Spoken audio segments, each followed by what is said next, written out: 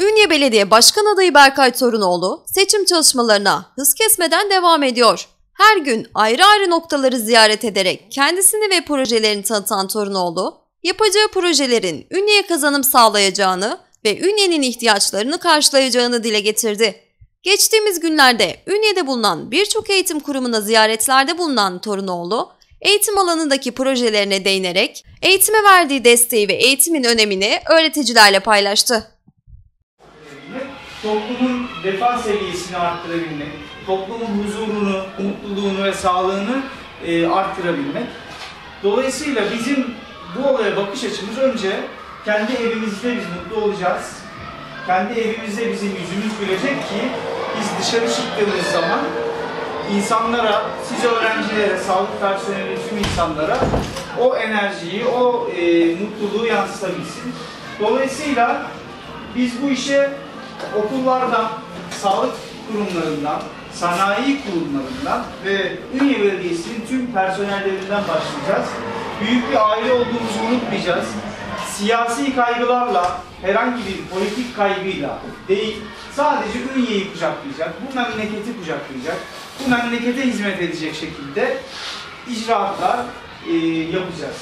Biz bu yönden e, eğitim kurumlarını tabii ki çok önemsiyoruz. Çünkü Mustafa Kemal Atatürk'ün söylediği zeki, çevik ve ahlaklı nesilleri sizler yetiştiriyorsunuz. Sizlerin yükü 21. yüzyılın teknoloji adaptasyonundan dolayı, teknolojinin çok hızlı ilerlemesinden dolayı çok fazla.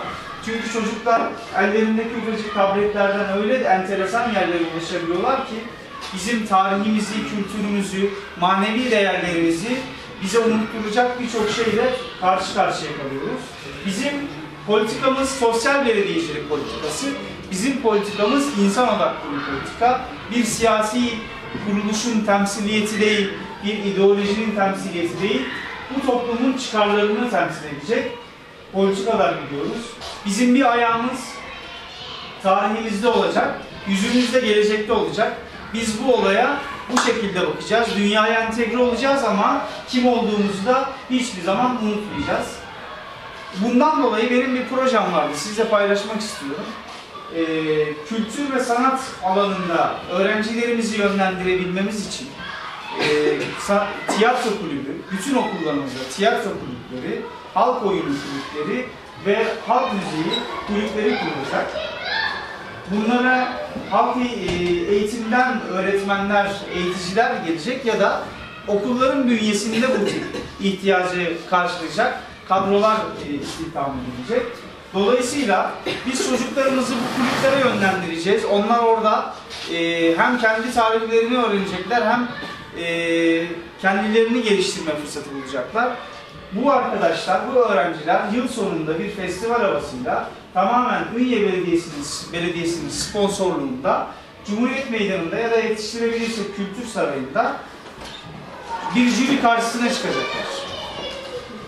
Ne yapacak bu jüri?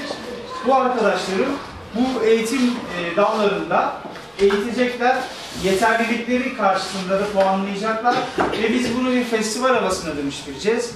Ailelerinin de bu işe içine girmesiyle beraber bu aile farklı bir alanda da meyvesini ver- vermiş olacak. Bu arkadaşlar hem e, bu konuda yetkin hale gelecekler hem de e, kendi tarihlerine, kültürlerine biraz daha bağlı hale gelecekler.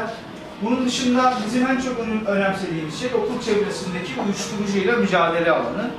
Uy- Uyuşturucuyla mücadele bizim gençlerimizin geleceğe entegrasyonunu zorlaştıran hatta kayıp nesil oluşmasını kayıp ne- nesil oluşmasına sebep olan bir şey. Biz okul etrafında dal sigara satışını yasaklayarak ve bunun zabıta gücüyle e, takibini de sağlayarak dal sigara işini dal sigara işini ortadan kaldıracağız.